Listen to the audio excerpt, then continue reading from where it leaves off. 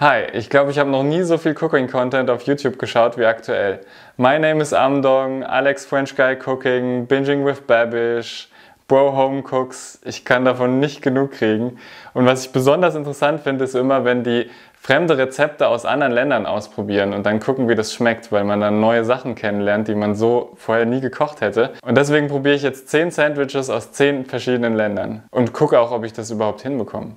Das wird auch spannend bei manchen Sachen. Kleiner Disclaimer noch, die Hälfte davon ist vegetarisch und falls ich irgendwas falsch ausspreche oder ihr Landsmann von einem Land seid und wisst, wie man es noch besser machen kann, dann schreibt mir das gerne in die Kommentare. Gut, wir starten einfach. Es geht nämlich in die USA. Ich hätte allein ein ganzes Video nur über die USA machen können, aber ich glaube, so der Klassiker ist das Grilled Cheese Sandwich. Also fürs Grilled Cheese braucht ihr ein schönes fluffiges Weißbrot und bestreicht da erstmal beide Seiten schön dick mit Butter. Dann macht ihr eine Pfanne heiß, ein bisschen Öl in die Pfanne, damit es nicht anbrennt und dann die Brotscheiben mit der gebutterten Seite nach unten. Ich habe es jetzt mal mit Cheddar und Gouda gemacht, aber ihr könnt natürlich den Käse nehmen, den ihr am liebsten mögt. Und jetzt wartet man, bis der Käse so leicht anfängt zu schwitzen. Dann kommt der Flip. Ah, ja, okay, ganz gut. Nochmal drehen, damit es von der einen Seite nicht zu dunkel wird. Ah, es war fast schon ein bisschen zu lang. Aber jetzt seid ihr fertig. Okay, das ging jetzt echt schnell. Sieht richtig geil aus und genau so habe ich mir die Struktur auch vorgestellt. Richtig schön weich innen drin und kross außen. Kann mir absolut nicht vorstellen, dass das jetzt nicht schmeckt. Boah. Ja. ist einfach saugut. Das war nicht das letzte Mal. Ist halt Käse und Fett und sonst nix. Kein Wunder, dass es mega gut ist. Warum habe ich mir das noch nie gemacht, ey?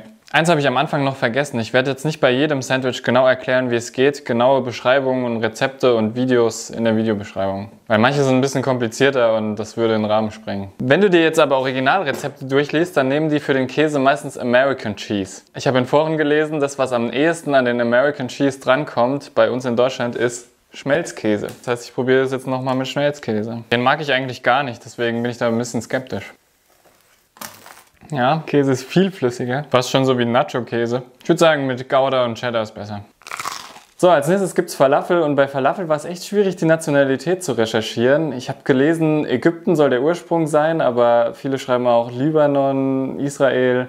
Wir nehmen einfach mal alle drei Flaggen. Ich habe mich hier für so ein klassisches Fladenbrot aus dem türkischen Supermarkt entschieden. Für die Joghurtsoße nämlich einfach Joghurt. Salz, Pfeffer, Knoblauch und ein bisschen Zitrone. Dann schnappt man sich eine Gabel und fischt die Kerne wieder raus, weil man zu doof war, das in der Hand auszudrücken.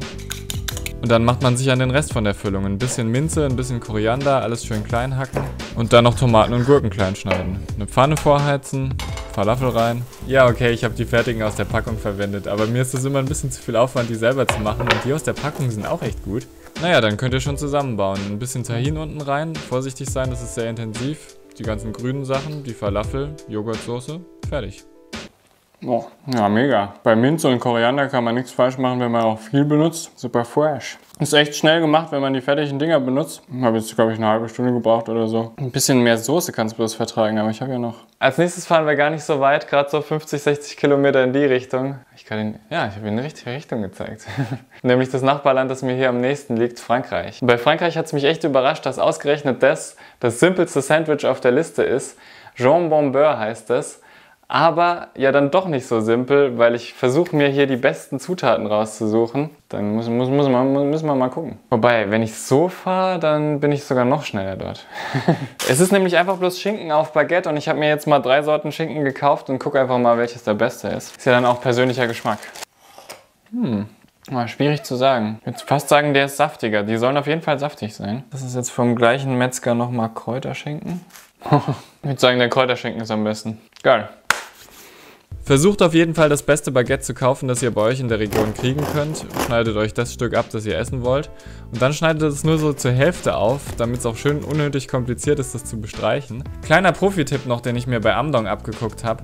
Reibt das Baguette mit Knoblauch ein, dann kriegt ihr nochmal so einen extra Geschmack. Dann kommt der Schinken rein, so fancy wie möglich und so viel wie möglich, weil wir sind in Frankreich und da spart man nicht mit guten Lebensmitteln und ihr seid fertig. Sieht schon mal nicht verkehrt aus. Ja.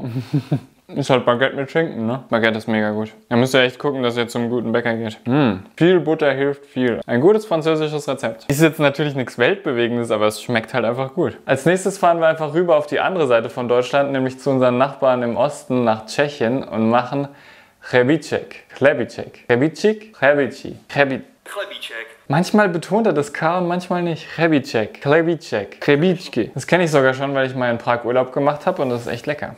Hierfür braucht ihr auf jeden Fall ein schön weiches Baguette. Ich habe dafür einen Aufback-Ciabatta aus dem Supermarkt verwendet und extra bei Umluft aufgebacken.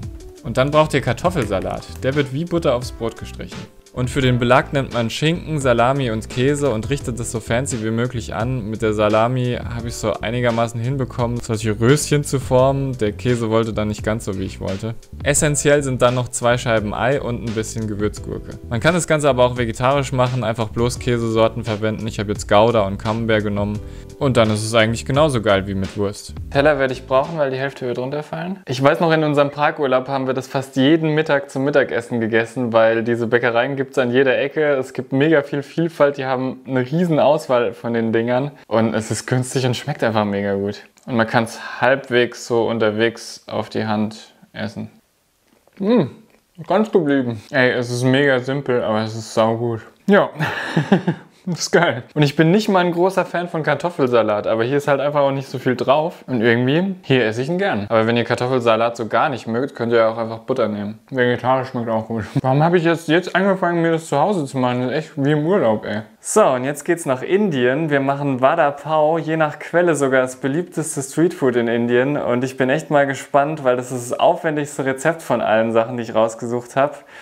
Aber heute ist Sonntag, wir haben Zeit. Das machen wir mal. Also ich habe mich dazu entschieden, die Burgerbrötchen auch selbst zu machen, weil ich die aus dem Supermarkt einfach immer ein bisschen enttäuschend finde. Dazu schmelzt man erstmal ein bisschen Butter in Milch, dann braucht man Mehl, Eier, Zucker und Salz. Dann kommt die Hefe in die warme Milch, die warme Milch kommt in die andere Mischung und dann wird gerührt.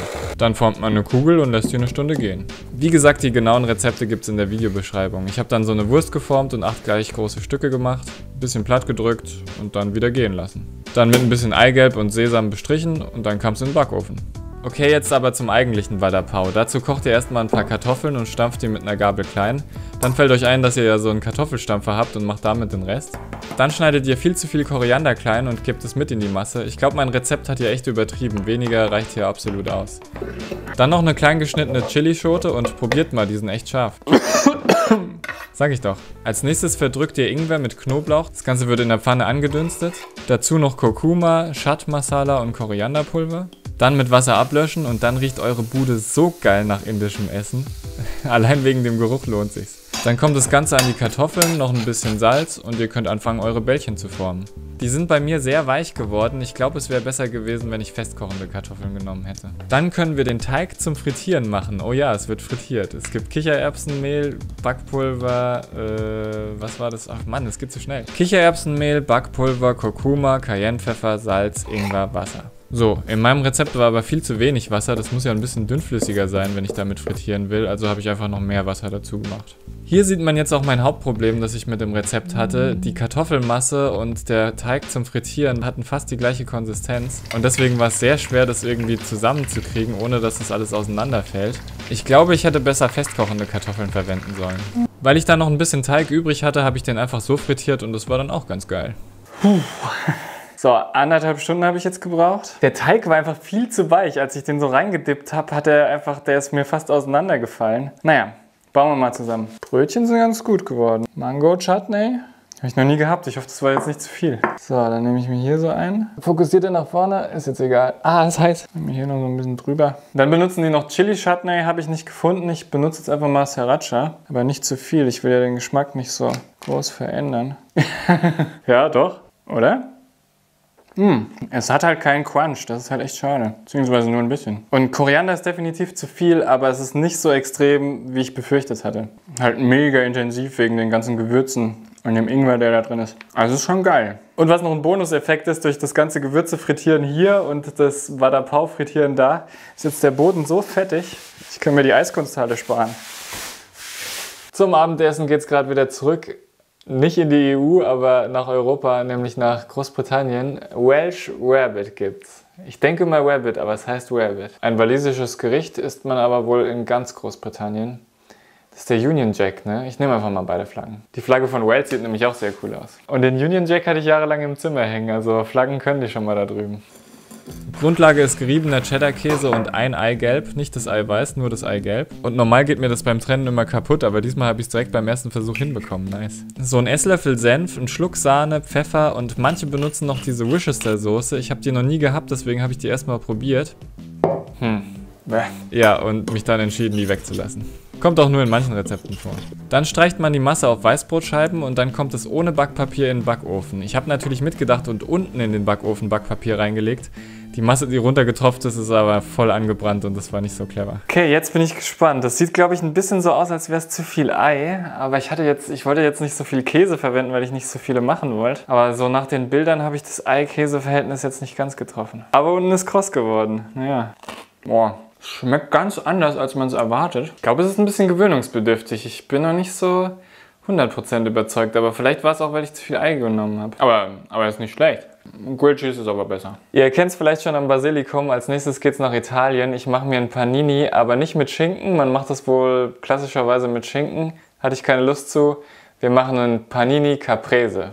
Also Tomate Mozzarella. Dafür habe ich so ein Ciabatta-Brötchen genommen und erstmal unten ordentlich Pesto drauf gestrichen. Dann Mozzarella und Tomaten klein geschnitten. Wichtig beim Mozzarella, das erste Stück immer selber erstmal probieren. Qualitätskontrolle und so. Das Ganze habe ich versucht dann möglichst schick da irgendwie so rein zu drapieren und ja, passt einigermaßen. Noch ein bisschen Pfeffer drauf, ein bisschen Olivenöl und dann richtig, richtig viel Basilikum, so viel wie geht. Und dann sieht es so schon richtig geil aus. Aber wir sind noch nicht fertig.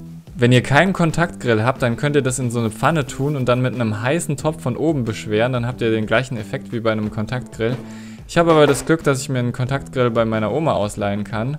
Und das Kabel sieht noch in Ordnung aus, oder? Ich habe dann ein bisschen die Power von dem Kontaktgrill überschätzt und hatte Angst, dass es mir verbrennt. Und habe es ein bisschen zu früh runtergeholt. Also das ist so ein bisschen Übungssache. So, Tomate-Mozzarella-Sandwich habe ich mir natürlich schon mal gemacht. Aber ich habe mir noch nie die Mühe gemacht, das auch so zu grillen.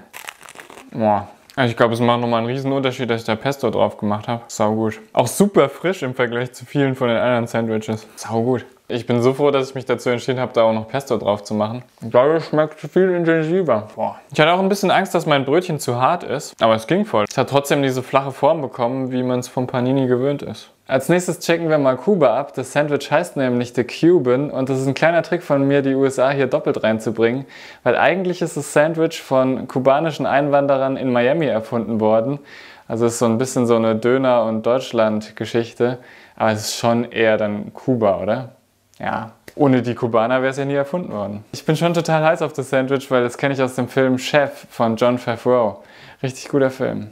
Dafür braucht ihr jetzt auch wieder ein weiches Brötchen und viele Rezepte benutzen dafür so Hotdog-Brötchen, aber die finde ich ja nicht so geil. Ähm, ich habe das große Glück, dass mein Bäcker so Milchbrötchen anbietet. Die sind so ein bisschen Brioche-mäßig. Normal sind die auch heller. Also es soll auf jeden Fall ein helles, weiches Brötchen sein. Dann heizt ihr eine Pfanne und euren Kontaktgrill vor und der Kontaktgrill wird ordentlich mit Butter eingerieben. Jetzt röstet ihr die Brötchen so ein bisschen in der Butter. Dann kommen Schinken und Schweinebraten in die Pfanne und werden da so ein bisschen angebraten. Während es brutzelt, könnt ihr das Brötchen schon mal mit Senf bestreichen. Dann kommt die Wurst auf das Brötchen, dann natürlich noch ein bisschen Käse dazu und dann noch essentiell ein paar Gewürzgurken. Das Ganze kommt dann wieder in den Kontaktgrill und jetzt kommt der Clou.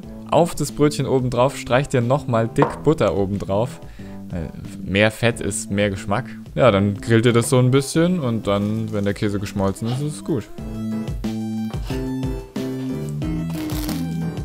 So, jetzt bin ich echt mal gespannt. Schweinebraten mag ich eigentlich gar nicht so sehr. Boah. Alter, das ist wirklich, wirklich gut. Mm. Durch den Senf und die Gurke bekommt es fast so Burger-Charakter. Käse geil, Fleisch geil, mega gut. Das hätte ich nicht erwartet, weil ich bin eigentlich kein großer Senf-Fan. Aber hier harmoniert er voll gut. Ich glaube, ich muss mir noch ein paar Brötchen holen gehen. also Cubano, sehr zu empfehlen.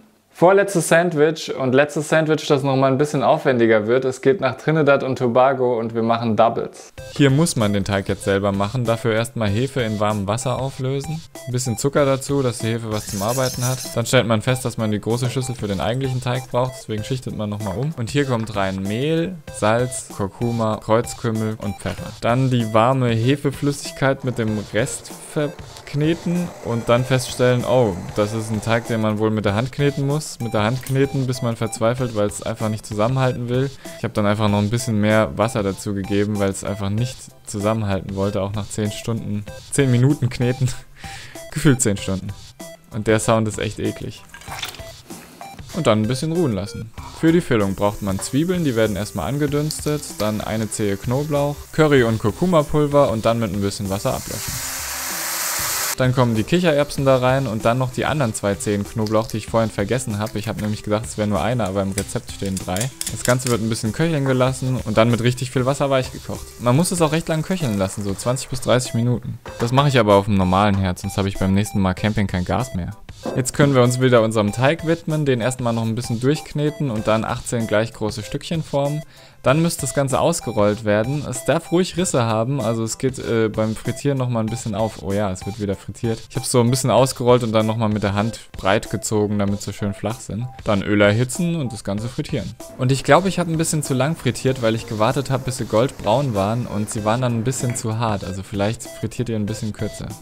Das waren jetzt anderthalb Stunden und vorhin noch mal so eine halbe, um den Teig zu machen. Alter, und allein für den Anblick hat es sich schon gelohnt. Lauter frittiertes Zeug. Zwei Löffel von der Kichererbsenmasse, Mango-Chutney. Dann nochmal so ein Fladen drauf, deswegen heißt es Doubles. So, und dann hält man das so U-förmig. Meine sind gar nicht so weich. Bricht alles auseinander. Hm. Man könnte im Prinzip die Fladen schon so als Chips essen oder so. Die sind schon mega gut.